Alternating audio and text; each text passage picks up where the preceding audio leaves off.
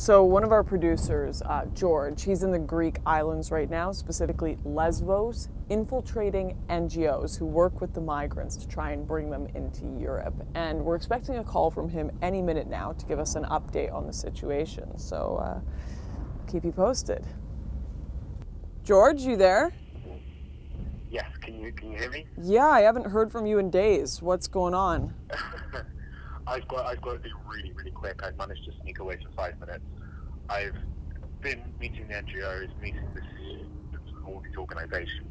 I've got so much stuff, so much criminal stuff. I can't say much, but just hang on.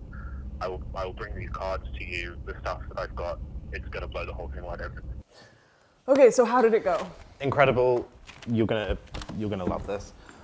So, Advocates Abroad, Yep. really, really serious NGO operating in the Greek islands, 17 countries in total, but primarily based in the Greek Islands. What do they do? They do legal aid, representation, coaching for refugees before they have their asylum interview. So, With the Greek government. yep. So Yeah. once you, once they get to Moria, they have their interview. That's where they decide: are they going to go to Athens? Are they going to go to Europe? Are they sent back? 380 staff. Uh, they've had about 15,000 people go through, more at the moment. that So it's not just a couple no, no, no, sob like stories. This, this, is, this is this is industrialized legal aid, essentially. It's huge. So their support, they, they take support and, and volunteers from like University of Cambridge, University of Oxford, uh, University of Denver. It's massive. They're linked with the International Bar Association. Al Jazeera, Huffington Post have all written about them, done interviews. So So these they're the guys that, yeah, these are the guys really that people go eh? to um, for their information.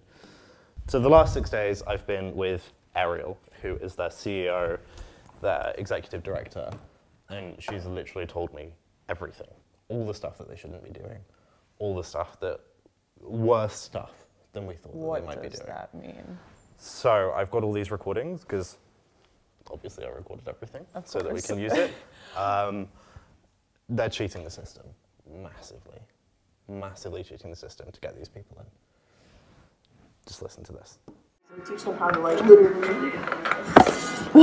Sometimes it's like as simple as this, and then how to tell their story, like how to frame it, how to um, literally explain it, and how to just like keep their private emotions and their private trauma private, because all of this acting is a shield. Like you have to coach people on like Oh, yeah. physicality. Yeah, I see it like um, I tell them that this is um, acting. All of this is acting. It's all acting as though this is theater. So for them to get through, they must act their part in the theater. And that is the refugee and trauma because these EASO officers are so fucking stupid that all they know is what is written on a paper. EASO says this is refugee and trauma. They have these characteristics. So we coach people how to have these characteristics. So they're they're admitting that they're teaching them to act. She, she literally keeps talking about these refugees as actors, as a theatre production. So the government have created a process to try and find real refugees amongst tons of people Yeah. that are trying to illegally migrate to Europe, and they're making it into a theater class so everyone gets in. Yeah, essentially. Even if they're not a genuine Essentially, they've worked out what the interviewers are looking for, and they're teaching people how to do that, how to be that. That is incredible. Um, let me find you this other one actually. So like um, there's a formula we came up with, which is ironic because I suck at formulas. But it's like significant events, date, and location. So the way you answer all these questions is the same way. Um, in December 2017 in Izmir, Turkey, I was threatened Christian because my boss and his friends dropped me when I was leaving my church. This is the Bible they tried to tear up. This is the crucifix I was wearing that they tried to tear.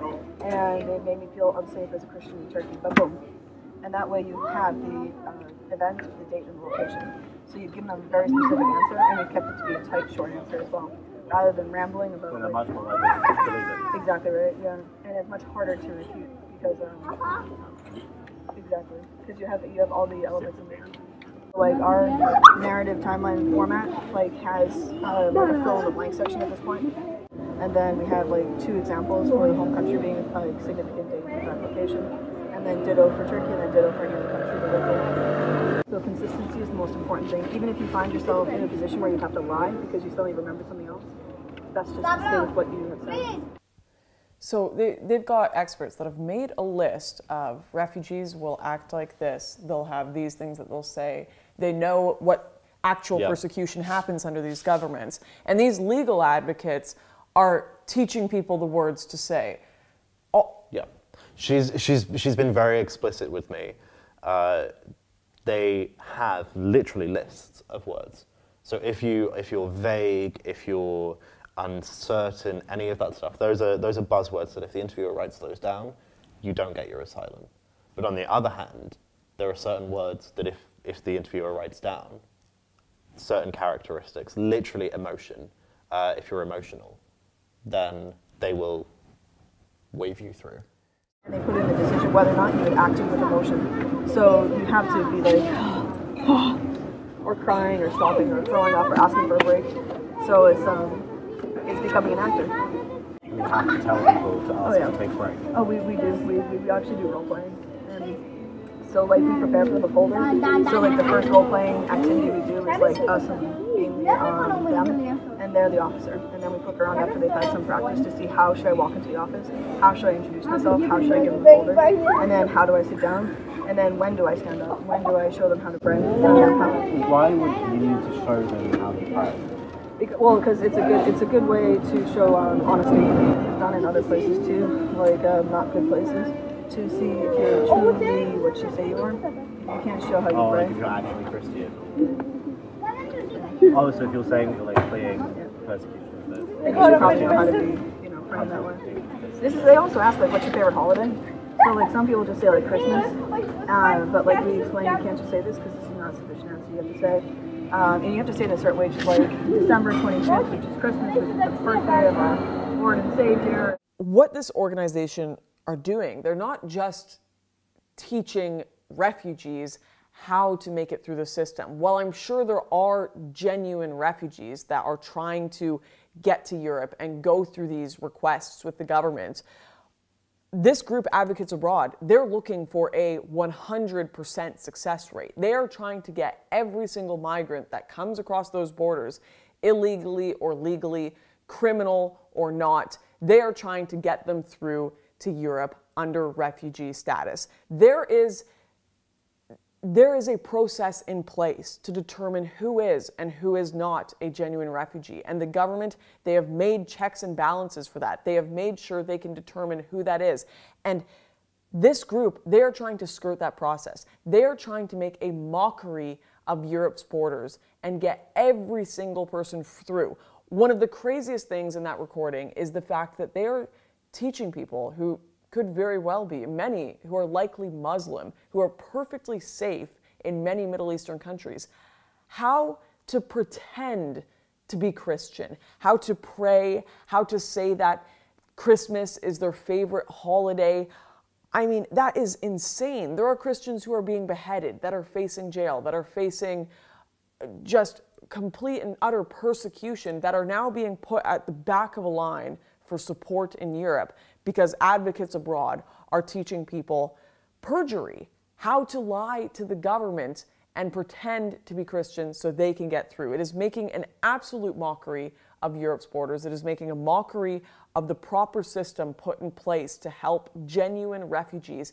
And it is hurting both genuine migrants and the European people who now have to deal with a mass influx of people that are entirely unvetted. We spoke to the migrants on the camps in the Greek islands, and they were telling us one of the biggest things they fear are ISIS in their camps and criminals in their camps that have just gotten through and come to Europe. And there is a very good chance that advocates abroad are coaching those people as well are coaching criminals, are coaching ISIS how to skirt the system, how to get by and lie to the government and get into Europe. Of course, there are people, of course, there are people who need legal help. Of course, there are genuine refugees out there. But what they need is nonpartisan, real legal help, not like actual activists that are trying to do illegal behavior, not advocates abroad. So that was just a very small snippet of some of the amazing content we have with our project borderless. There is still so much we have yet to expose and so much more we want to expose that the government and the media are trying to cover up. Unfortunately, so far we have come to the end of our budget for the borderless film, but we're looking to you to help us continue this project as there is so much more we want to investigate and bring forward. If you want to help, please check out the links below or go to borderless.movie to do that. And a huge thanks to everyone who has already supported making this possible. We'll see you guys in the next expose. So